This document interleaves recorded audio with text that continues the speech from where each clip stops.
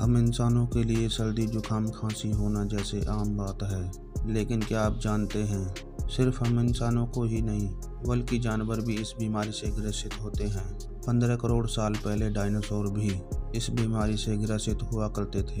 उन्हें भी छींक, खांसी, बुखार यहाँ तक कि कई दिनों तक फेफड़ों के संक्रमण से परेशानी हुआ करती थी। पहली बार इस बात के सबूत मिले हैं। मोन्टाना के माल्टा स्थित ग्रेट प्लेन्स डायनासोर म्यूज़ियम में पैलियोटोलॉजी डॉक्टर कैरी बुड्रफ ने बताया कि हमने 30 साल पहले खोजे गए जुरासिक काल के एक शाकाहारी और बेहद बड़े डायनासोर, डिप्लोडोसिड डॉली की गर्दन की हड्डियों की जाँच की। इस जाँच की शुरुआत तब की गई, जब डॉली की गर्दन की हड्डियों में छोटे छोटे गोभी जैसे आकृतियाँ दिखाई दी। डॉक्टर कैरी ने बताया कि इससे पहले उन्होंने कभी ऐसी आकृतियाँ नहीं देखी थी, जिसके बाद डॉक्टर बुडरफ ने सोशल मीडिया पर इन आकृतियों की तस्वीर डाल दी, जिसके बाद कई वैज्ञानिकों के जवाब आए और कई इस स्टडी में शामिल भी हुए। जिन्होंने जाँच करके बताया कि यह सर्दी जुकाम या रेसिपरेटरी इन्फेक्शन की वजह से होने वाले लक्षण हैं। साइंटिफिक रिपोर्ट जर्नल के मुताबिक,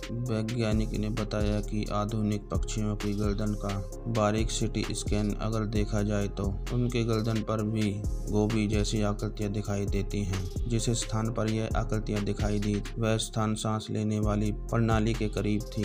वैज्ञानिक ने बताया कि हम इंसानों में भी सर्दी जुकाम होने पर ऐसे लक्षण दिखाई देते हैं। डॉक्टर बटर्फ ने बताया कि डोली, सर्दी, जुकाम, एस्परजिलोसिस नाम के मोल्ड कणों को सूंघने की वजह से हो सकता है, जिसकी वजह से वह कमज़ोर हो चुकी थी। यूनिवर्सिटी ऑफ़ एडिनबर्ग में पैलियोटोलॉजी एंड एवोल्यूशन के प्रोफेसर स्टीव बुरसेट कहते हैं कि हमें डायनासोर की बीमारियों के बारे में बहुत कम पता है। हमें तब तक कुछ पता नहीं चल सकता जब तक हड्डियों पर कोई निशान न मिले। डोली की गर्दन पर निशान मिले तब पता चल पाया कि उसे फेफड़े से संबंधित बीमारी थी। उसे सांस लेने में दिक्कत और सर्दी, जुकाम व बुखार था। आई होप यू गाइस, अगर आपको वीडियो अच्छी लगी हो तो वीडियो को लाइक, चैनल को सब्सक्राइब करें। Thank you so watching video. धन्यवाद।